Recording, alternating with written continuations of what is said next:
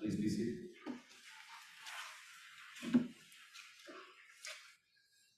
When I read scripture and prepare for these sermons, I oftentimes, excuse me, get caught up where these stories took place and when they occurred. All of it thousands, and thousands of years ago. Exodus was based on events in the fifth and the sixth century before Christ. Before I hear the word, I am often distracted by this. I try to put myself into the sandals of those who are there, of the people in these stories. Can you imagine yourself today being either Peter, John, or James? To begin, they are climbing a mountain to go pray with Jesus. A mountain. We've got mountains in the gospel, we've got mountains in the Old Testament reading this morning. And my very skillful Google search capabilities determined that both of these mountains are bigger than Mount Washington. And back then, it's not like they ran home and got their best mountain climbing boots and a CamelBak for water, you know what I mean? They probably owned camels, they didn't have a CamelBak. And I, like I said, I get distracted by this. I'm like, what was the preparation that went into those excursions? What did you, what was that like? And and also I keep thinking about how incredibly hard those times were, you know, compared to the, the luxuries that we have today.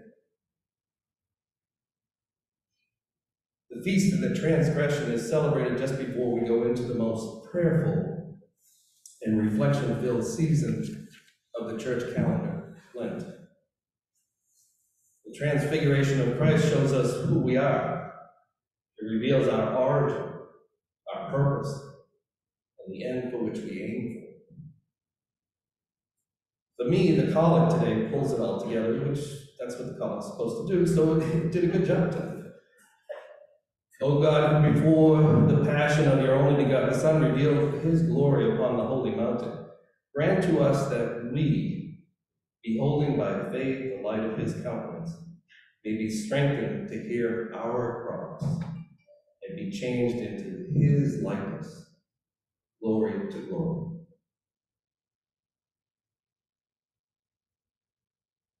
This is a difficult week to talk about transfigured when the world we live in is rather disfigured at this time.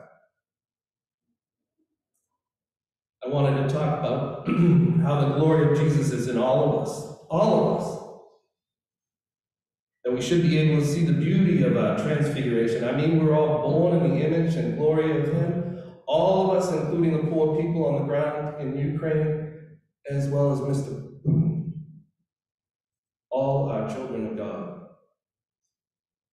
The dilemma, the challenge, which confronts us every day, that the world we live in, the communities we live in, even ourselves, are a combination of good and evil, of light and dark, of transfigured and disfigured.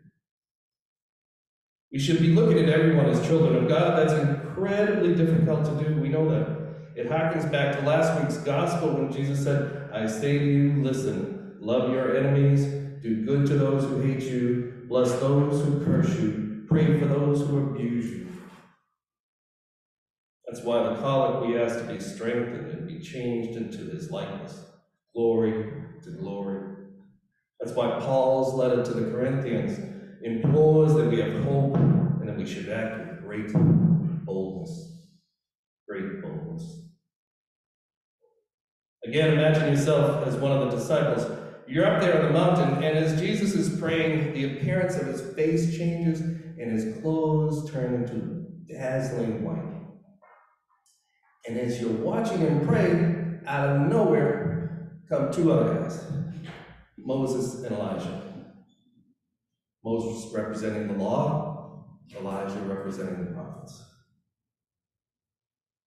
The Old Testament, all the law and the prophets. One commentary, excuse me, I read this week suggested that Jesus couldn't be transfigured by himself. Moses and Elijah provided community. And community is where the glory of God can shine through. Only when we are together can God's radiant light reach each and touch each of our lives. I kind of like that picture. I wasn't there yesterday, but I'll bet there was a transfiguration event yesterday when this community of light gathered to prepare meals for those that are in need at the warming shelter. There was light radiating when those meals were being prepared, and the light and the glory of God will also shine when those meals are delivered and eaten. There is that light and that glory when you care for someone in your life, for yourself. There is that light and that glory that shines when we pray for the people of Ukraine. There is that light and that glory every Tuesday and Thursday night in this hall. Now, if you're still with me, imagining yourself as one of the disciples, imagine you are engulfed in this big cloud, came out of nowhere. You can't see anything. Then you hear God's voice, and I assume it's a booming voice. this is my son, my chosen. Listen to him. And after that, poof, everything's gone.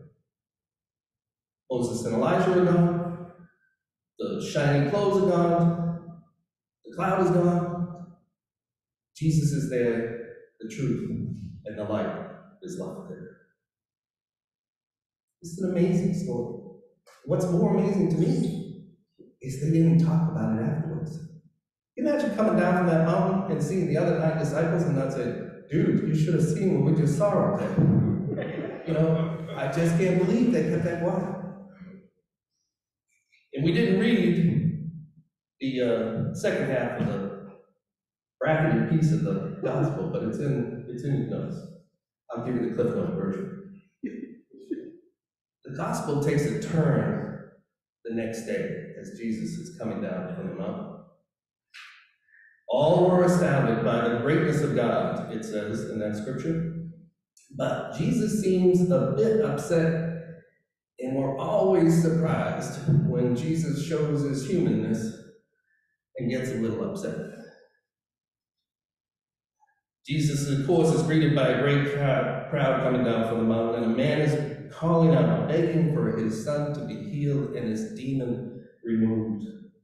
He lamented that he asked the disciples, but none of them could get it done. Jesus turns around and says, I assume in a disgusted voice, You faithless and perverse generation, how much longer must I be with you and bear with you? Ouch. Remember now, only three of the disciples were up on that mountain. The other nine were not. Only the three got to experience the transfiguration. Only the three had insight into their origin, their purpose, and the end to which they were aiming. The other nine Jesus, knew Jesus was someone special, very special. They did not witness what Peter, John, and James did. Jesus healed the boy, and all were astounded by the greatness of God. Nevertheless, at the same time, uh, Jesus was saying, Come on, guys, would you figure this out? I'm not going to be with you much longer. I, I have some kinship to the nine disciples. I'm still trying to figure it out. We're all still trying to figure it out. But we need to keep trying.